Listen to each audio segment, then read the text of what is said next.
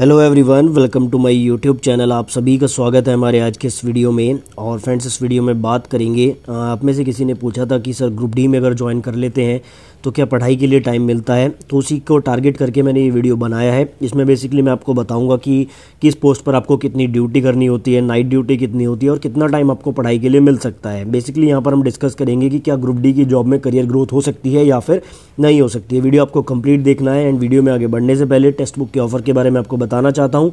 Raise to selection cell इनका यहाँ पर चल रहा है। ईयरली टेस्ट बुक का पास जो तीन सौ निन्यानवे रुपये का था, वो आपको तीन सौ साठ रुपये में मिल जाएगा। यहाँ पर चार सौ अस्सी से ज़्यादा एग्ज़ाम्स के लिए छत्तीस हज़ार से ज़्यादा मॉक टेस्ट अवेलेबल है। सिंपली आपको डिस्क्रिप्शन में दिए गए लिंक पर क्लिक करके और इसको परचेज करते टाइम ईजी टेन कोड का यूज़ करना है, जिससे आपको थर्टी नाइन रुपीज़ का ऑफ़ मिल जाएगा। तो डिस्क्रिप्शन में मैंने लिंक दिए, आप जाकर चेकआउट ज़रूर करें। तो फ्रेंड्स यहाँ पर सबसे पहले हम लोग बात करेंगे ड्यूटी टाइमिंग को लेकर। देखिए, जैसा कि आप सभी लोग जानते हैं रेलवे 24 घंटे काम करती है। तो यहाँ पर जो एम्प्लॉयज़ काम करते हैं, उनकी ड्यूटी को तीन रोस्टर में डिवाइड किया जाता है। आठ आठ घंटे के तीन रोस्टर होते हैं। टोटल आपके चौबीस घंटे यहाँ पर हो जाते हैं। देखिए, इनकी जो टाइमिंग होती है, इनकी ड्यूटी की जो टाइमिंग होती है, थोड़ा सा डिफर करती है जोन टू जोन किस जोन में आप काम कर रहे हैं उस जोन के अकॉर्डिंग डिफर करती है। लेकिन एक जो कॉमन टाइम रहता है, वो लगभग ही रहता है। देखिए, पहला रोस्टर आपका सुबह आठ बजे से लेकर शाम चार बजे तक का रहता है। दूसरा रोस्टर यहाँ पर रहेगा आपका चार बजे से लेकर रात बारह बजे तक और तीसरा रोस्टर आपका रहेगा रात 12 बजे से सुबह 8 बजे तक, ठीक है? इस तरह से क्या होता है कि आपके पूरे 24 घंटे यहाँ पर कवर हो जाते हैं। अब बात करते हैं कि ओवरऑल कितना काम यहाँ पर किसी भी रेलवे ग्रुप डी एम्प्लॉय को करना होता है। देखिए, जो रेलवे के रूल हैं, जो मैंने ऑफिशियल रूल देखे हैं, उसमें ये बताया गया है कि एक हफ़्ते में अड़तालीस घंटे आपको यहाँ पर काम करना होगा। अगर एक दिन में आप लोग आठ घंटे काम करते हैं तो आठ गुना छः यानी कि अड़तालीस घंटे का आपका काम हो जाता है, और एक दिन जो सातवां दिन रहता है, उसमें आपका रेस्ट यहाँ पर रहता है। तो इस तरह से ऑफिशियल नोटिफिकेशन में दिया गया है। लेकिन साथ ही रेलवे यहाँ पर यह भी कहता है कि इन अड़तालीस घंटों के अलावा आपसे देखिए चौबीस घंटे का काम एक्स्ट्रा लिया जा सकता है अगर बात करते हैं मेन दो पोस्ट के बारे में। एक आपकी पॉइंट्समैन की है और दूसरी यहाँ पर ट्रैकमैन की है। ये दो पोस्ट ऐसी हैं, इसमें आपको एडिशनल चौबीस घंटे का काम भी करना हो सकता है। अब देखिए चौबीस घंटे ऐसा नहीं है कि आपसे लगातार चौबीस घंटे काम कराया जाएगा। जैसे आपकी आठ घंटे का रोस्टर है तो हो सकता है कि एक दिन आपसे दो घंटे एक्स्ट्रा काम करा लिया जाए, दूसरे दिन आपसे चार घंटे एक्स्ट्रा काम करा लिया जाए, लेकिन चौबीस घंटे से ज़्यादा ये काम आपसे नहीं कराया जा सकता। अब देखिए जो पॉइंट्समैन की और ट्रैकमैन की पोस्ट है, उसके अलावा जितनी भी पोस्ट यहाँ पर रह जाती है, उनको एडिशनल बारह घंटे काम करना पड़ सकता है। यानी कि हफ़्ते में वो अड़तालीस घंटे तो काम करेंगे ही, लेकिन साथ में उनको बारह घंटे एक्स्ट्रा काम भी यहाँ पर करना पड़ सकता है। अब देखिए यहाँ पर हमारा दूसरा क्वेश्चन था कि आपका जो हॉलीडे है क्या वो फिक्स रहता है? तो देखिए मैं आप लोगों को बता दूँ रेलवे ग्रुप डी की जॉब में आपकी जो छुट्टी है वो फिक्स नहीं रहती है। जैसे आपको यहाँ पर छः दिन काम करना है तो देखिए एक रेस्ट आपको मिलता है हफ़्ते में।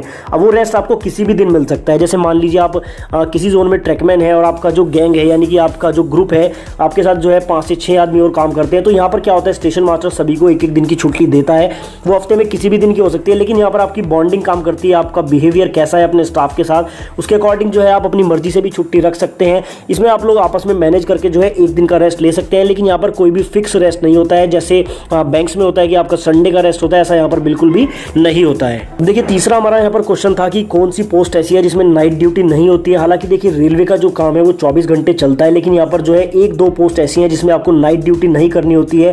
जिसमें सबसे पहले आपकी पोस्ट होती है हॉस्पिटल असिस्टेंट की। देखिए, जो आपकी हॉस्पिटल असिस्टेंट या फिर हॉस्पिटल अटेंडेंट भी इसको बोला जाता है। ये वाली जो पोस्ट है, इसमें आपको नाइट ड्यूटी बेसिकली नहीं करनी रहती है, क्योंकि हॉस्पिटल में जो जनरली काम रहता है, वो दिन का रहता है, लेकिन ऐसा कंफर्म भी नहीं है कि आपको रात की ड्यूटी ना करनी पड़े। कई बार इमरजेंसी में आपको नाइट ड्यूटी भी यहाँ पर करनी हो सकती है, लेकिन ये वाली पोस्ट ऐसी है जिसमें आपको कम से कम नाइट ड्यूटी करने की आवश्यकता पड़ती है। बाकी जितनी भी पोस्ट है, सभी में आपको नाइट ड्यूटी करने को मिलेगी, यानी कि कोई भी पोस्ट ऐसी नहीं है जिसमें आपको नाइट ड्यूटी ना करनी पड़े।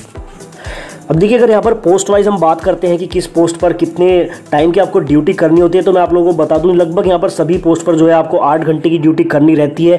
लेकिन कई बार क्या होता है, अगर आपकी ज्वाइनिंग ऐसे स्टेशन पर है जहाँ पर रश बहुत ज़्यादा है, बहुत ज़्यादा ट्रैफ़िक है, बहुत ज़्यादा बिज़ी स्टेशन है तो वहाँ पर आपको एक्स्ट्रा टाइम ज़्यादा करना होता है, यानी कि लगभग दस से बारह घंटे की ड्यूटी आपको नॉर्मली वहाँ पर करनी होती है।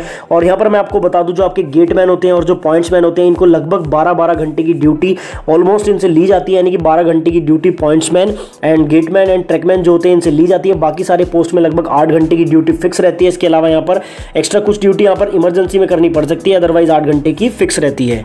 अब देखिए फाइनली हम लोग यहाँ पर बात करते हैं ऐसी कौन सी पोस्ट है जिसमें आपको स्टडी के लिए काफ़ी ज़्यादा टाइम मिल जाता है। तो यहाँ पर तीन ऐसी पोस्ट हैं जिनमें आपको स्टडी के लिए बहुत अच्छा टाइम मिलेगा। हालाँकि देखिए, अगर आप किसी भी पोस्ट पर ज्वाइन करते हैं तो तीन से चार घंटे तो आपको आराम से मिल जाएँगे, क्योंकि अगर आप आठ घंटे की ड्यूटी करते हैं, उसके बाद आपके पास एक्स्ट्रा टाइम बच जाता है तो तीन से चार घंटे तो आप स्टडी कर सकते हैं। तो अगर आप लोग स्टडी करना चाहते हैं ऑनलाइन इतनी सारी सुविधाएँ उपलब्ध है तो तीन से चार घंटे आपको हर पोस्ट में मिल जाएँगे जहाँ पर आप स्टडी कर सकते हैं। लेकिन तीन यहाँ पर ऐसी पोस्ट है जिसमें आपको एक्स्ट्रा टाइम भी जो है स्टडी के लिए मिल सकता है, जिसमें सबसे पहली पोस्ट आपकी होती है। असिस्टेंट डिपोर्ट स्टोर की देखिए, यहाँ पर क्या होता है? मेनली आपका काम रहता है स्टोर में आपकी ड्यूटी लगती है। यहाँ पर आपको सारा अकाउंट वहाँ का संभालना होता है। कितना सामान वहाँ से बाहर जाता है, कितना सामान अंदर आता है। तो वहाँ पर आप जो है ऑनलाइन संसाधन से आराम से बैठकर अपनी स्टडी कर सकते हैं। दूसरी यहाँ पर जो पोस्ट है, वो आपकी पॉइंट्समैन और गेटमैन की रहती है। देखिए पॉइंट्समैन और गेटमैन की ऐसी पोस्ट है। यहाँ पर जो है एक रूम मिलता है। रूम में आपको अकेले ड्यूटी करनी होती है। तो गेटमैन और पॉइंट्समैन की पोस्ट भी ऐसी है, जिसमें आप आराम से बैठकर अपनी स्टडी कर सकते हैं। और तीसरी यहाँ पर जो पोस्ट है, वो आपकी हॉस्पिटल असिस्टेंट की है। यहाँ पर भी आपको जो है अच्छा खासा टाइम पढ़ाई के लिए मिल जाता है, क्योंकि गवर्नमेंट के जो रेलवे के हॉस्पिटल होते हैं, उसमें इतना ज़्यादा रश नहीं होता है तो वहाँ पर भी आपको अच्छा खासा टाइम स्टडी के लिए मिल सकता है। तो तीन पोस्ट ऐसी है जहाँ पर आपको एक्स्ट्रा टाइम स्टडी के लिए मिल जाता है, बाकी तीन से चार घंटे आपको सभी पोस्ट में स्टडी के लिए मिल जाते हैं। तो गाइज़ ये था आज का हमारा टॉपिक उम्मीद करता हूँ ये वीडियो आप लोगों के लिए कहीं ना कहीं हेल्पफुल रहा होगा। अगर आपको वीडियो पसंद आया तो वीडियो को लाइक करें और चैनल पर आप लोग नए हैं तो चैनल को सब्सक्राइब करें।